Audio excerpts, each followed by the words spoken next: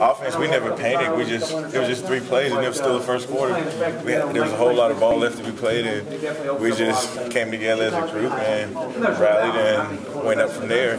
I mean, none of the guys ever like looked down when they scored again. We just stayed positive and kept driving. Do you guys feel like you were playing PlayStation out there the way you two guys were going at it on offense? No, I wouldn't say that. It's just you know we had them on the ropes at times, and then we let them get away on defense, but like for our job on offense is to score every time we get the ball. So whether they score or not, we got to score too. So it's just a mindset thing for us in defense. You know, they probably didn't play their best game, but they came up big at the end and you know that's what that's what the team is for. You know, offense, defense, and special teams. And next week we just got to be better at what we do, and I think we'll have a great game next week. Were you about to run out of gas there when you got down to the ten yard line? It Looked like you were just giving out there. Well, at first I didn't think nobody was still chasing me because every time I looked, you know, it looked like I was pulling away. And then when I slowed down about the 20 yard line, I saw one guy and I was like, oh, I got to die for it because he got a pretty good angle. But I mean, you know, I was determined to score. I said I got this far. There's no need to, you know, let them call it out on the one yard line. So, you know, I just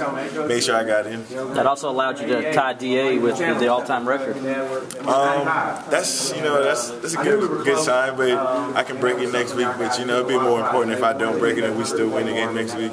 But, you know, I'm just blessed to have the opportunity to tie it, and hopefully I do break it next week. But, you know, that'll be all on the play call biggest thing is to win the game next week, and you know that that'll tell us where we'll go after that. But we just got to stay focused and execute the game plan. You send them a text and tell them you're gonna you're gonna you at least tied with them, but you're gonna get them now. Yeah, I'll call him probably tonight or after tomorrow. Let him know you know I'm gonna break his record or something like that. I talked to him every Sunday, so he's probably gonna have some words for me, but that's just Dwayne and me. But um, I'll give him a call tomorrow. And you also tied it more style because I don't think Dwayne ever had a 61 yard touchdown. Nah, I think the most he had was like 55 maybe. But yeah, I mean, I just had an opportunity to catch a longer pass than he did. I had to run farther on mine than he did. But you know, it just goes to show how versatile we are in this offense and things like that. So, you know, it's just a good opportunity for us to just make plays when coach calls our number. Were you surprised to be so open on that play? Um, no, actually, I, like a guy whiffed like on the tackle, so that's what sprung me. But other than that, I mean, I knew it was going to be open because they were keen on Sammy the whole game. And